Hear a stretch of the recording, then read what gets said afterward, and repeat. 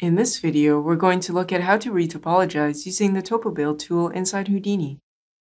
Let's take a closer look at the mesh.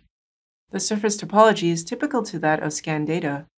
And if we take a look at our nodes, I have the imported scan mesh object and a transform node to correct the scale and position. Alright, let's go back up to object level. Now go to the Model tab and click on TopoBuild. Select the scan mesh and hit the Enter key. Houdini has created a new object independent of the original imported mesh, which is templated, and appended it with the TopoBuild node to it. Okay, let's go back up to object level to see what our scene looks like. And there's the new object node that Houdini made for us with underscore retopo appended to it, so we can turn off visibility on the source mesh. And let's go back inside to do our retopo. Since it is not unusual to change parameters and save them as a new default, we have to first make sure that both display and template model geometry are both set to draw hidden line ghost. Hit the D key to access the display options window. Alternatively, you can just choose hidden line ghost from the drop-down list here. Hit the D key to close the window. Okay, let's go in and make some quads.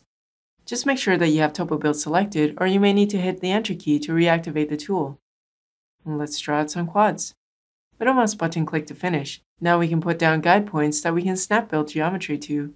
And now left mouse button click on the edge to pull out a face and move it closer to the points until you see the points highlight. That highlight indicates a snap, or in this case, geometry created at the point. You can put down guide points only and build your surface this way. After that, you can just tweak your geometry by either moving points, edges, or faces. Additionally, when you pull out a face from an edge, you can hold down Ctrl and left mouse button click and drag to rotate, or Shift and left mouse button click and drag to scale the face. And we can just close the gap by pulling out the edges and popping the faces on the points.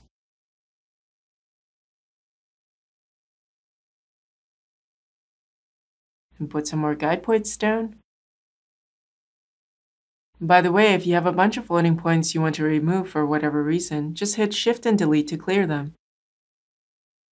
Undo to bring them back. And we'll just left mouse button click and drag to pull out the faces. We're just going to build up this eye area here. So with the clicking on an edge to pull out a face, you're not limited to one edge only. You can pull out multiple edges by holding down Shift and A to select partial edge loop, for example. You can also click and drag a point to snap and fuse it to another and have the surrounding edges connected together. If you need to remove some parts of the new geometry, simply delete the point, edge, or face and continue building on top of it. There are tips for keyboard and mouse combinations for various functions in TopoBuild in the helpline here. Okay, let's go back up to object level. And if you're wondering about the green color, it's just the default visualizer color to differentiate it as a TopoBuild mesh. You can simply turn off visibility on it in the visualizer panel.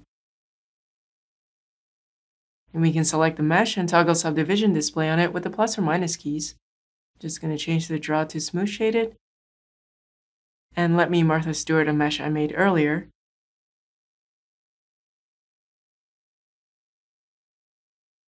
And that's the TopoBuild tool for retopologizing geometry inside Houdini.